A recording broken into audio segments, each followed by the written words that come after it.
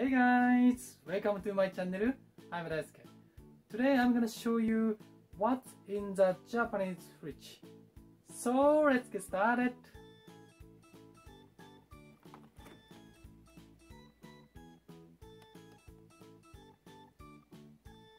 じゃあまずはここからね。これはね、ウーロン茶。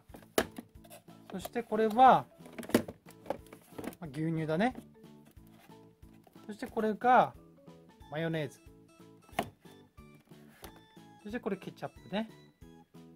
そしてこれはお好み焼きソース。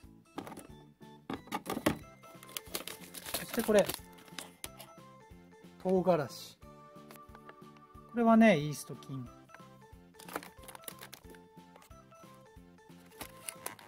これ俺使ってる目薬ね。そしてこれが生わさび、生生姜、からし、生ニンニク、梅肉。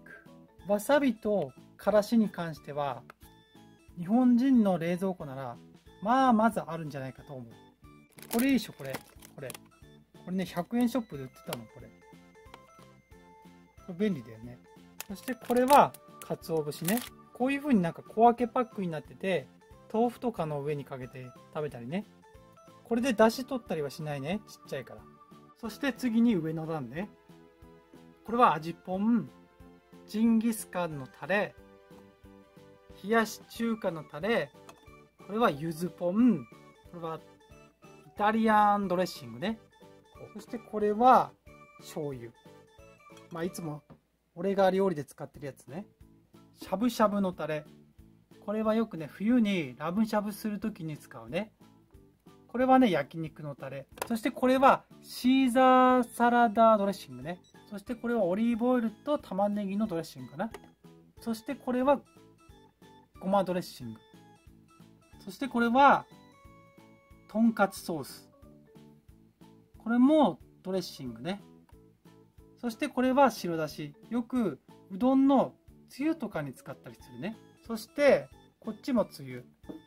これ両方ともつゆなんだけど、こっちは関西系のつゆで、こっちは、え、ー、と、東日本系のつゆかな。東日本っていうのは東京とか北海道とか、東北とかね。そっち系のつゆ。そして次にこっち側ね。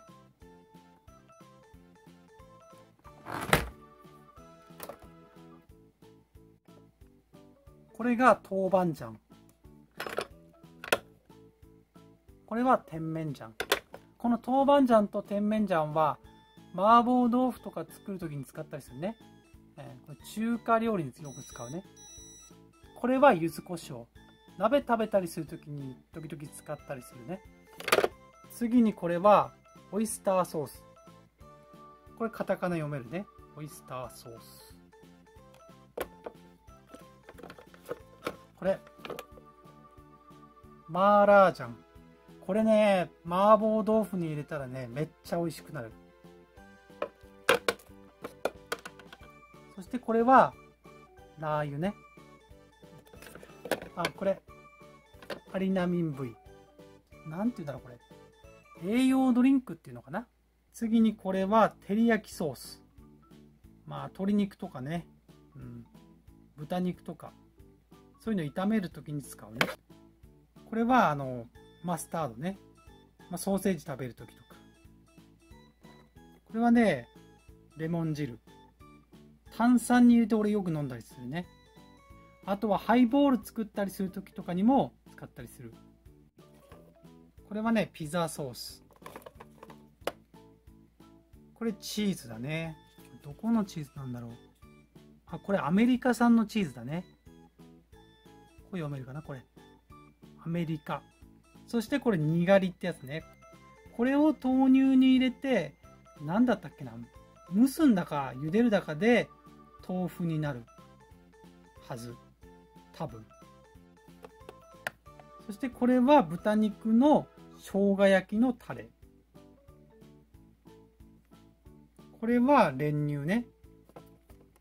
かき氷に入れたりするぐらいかな。これあんまり使い道はないね、これね。じゃあ次にメインの方ね。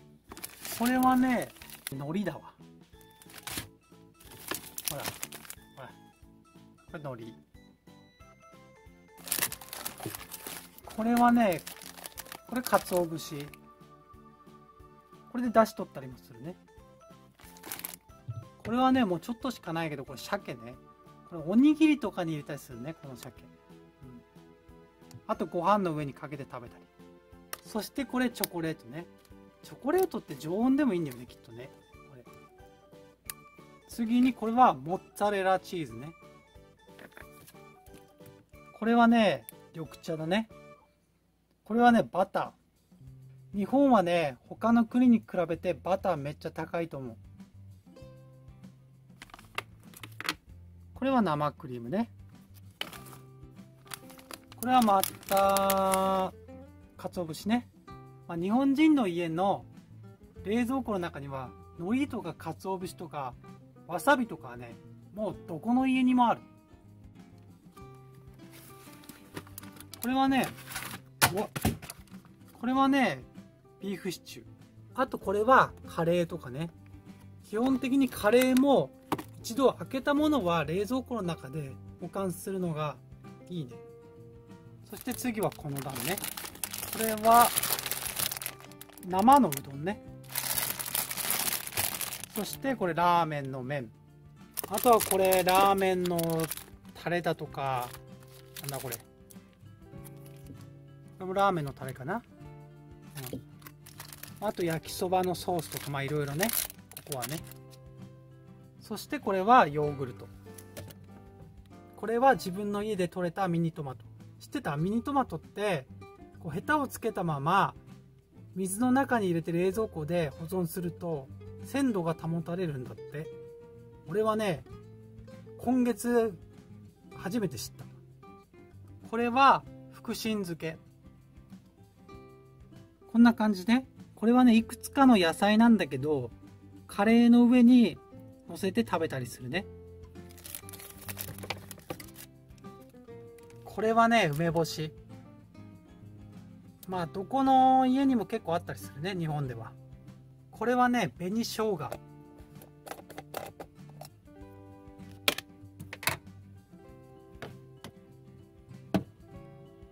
これはね焼きそばとかチャーハンの上に乗っけたりすることがあるね。そしてこれは納豆ね。これこの前あの動画アップロードしたけど美味しい納豆ってやつね。俺が好きな。そしてこれは見えるかな？ボロニアンソーセージね。どういう意味かわかんないけどまあソーセージみたいなやつね。そしてこれはあのビールみたいな飲み物ね、まあ、ビールじゃないんだよ日本では、まあ、今度説明するけど。そしてこれがビールね。札幌クラシックってやつ。これはねキムチ。今度冷麺作る動画とか作りたいね。これ冷麺に入れたら美味しいんだよねキムチ。そしてまあこれ味噌ね。味噌は未開封の場合は常温でもいいけど開封した後は冷蔵庫の中に入れた方がいいね。これ忘れないで。ちなみにこれは冷蔵庫の中のなんか脱臭をしてくれるみたいなやつで中身は炭なんだけどこうこんな感じね。ここはこう卵が入ってる場所ね。そしてこれはこの中にこうね水を入れたら氷が自動でできるっていうやつね。これ多分みんなどこでもあると思うんだけど。あとはここで冷蔵庫の中の温度を調節するね。弱い中くらい強いとかね。そしてここはこう魚肉ソーセージとか普通のソーセージとかこれ豆腐ね木綿豆腐ってやつね。えっ、とここの場所ってここの普通の冷蔵庫よりもちょっと冷たいんだったかな。忘れちゃったけど。そしてここにさっきの言った氷ができると。そしてこっちの引き出しにはこうごまとかくるみとか天かすね。あとお好み焼きとかうどんとかそばとかに使うね。そしてここは野菜室ね。このニンニクとかね。このニンニクはスペイン産だわ。あとこれ庭で採れたインゲンとか、うん、買ったキウイフルーツとかね。ピーマン。長ネギナスビ長芋じゃがいも玉ねぎきゅうり。とこれレタス。あとこれは大根ね。そしてこれは米びつっていうね。米が入ってるね。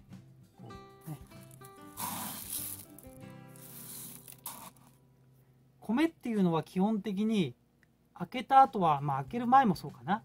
冷蔵庫の中で保存した方がよりこう美味しさが保てるね。そして最後に冷凍庫ね。これはかき氷作る時に使うやつね。なんだろうこれ。あこれパンだわ。であとこれはご飯ね。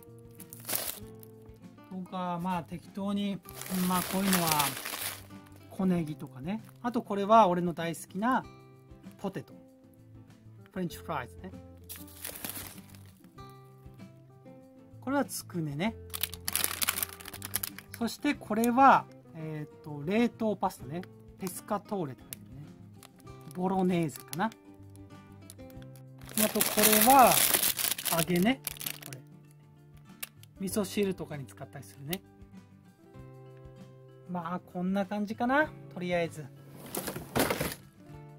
あらしまんねこれよくあるんだよね。これはい。どうだった？面白かった？俺のこう予想だときっと韓国人なら冷蔵庫に絶対キムチ入ってるよね。そしてフランス人とかならなんかチーズとか入ってそう。ドイツ人ならソーセージとかビール入ってそう。他の国に何入ってるのか知りたいよね。こう絶対に入ってるものみたいな。もしか自分の国であこれ冷蔵庫に絶対入ってるよっていうものあればコメント欄に書いてください。ってな感じです。それじゃあね。バイバイ。またね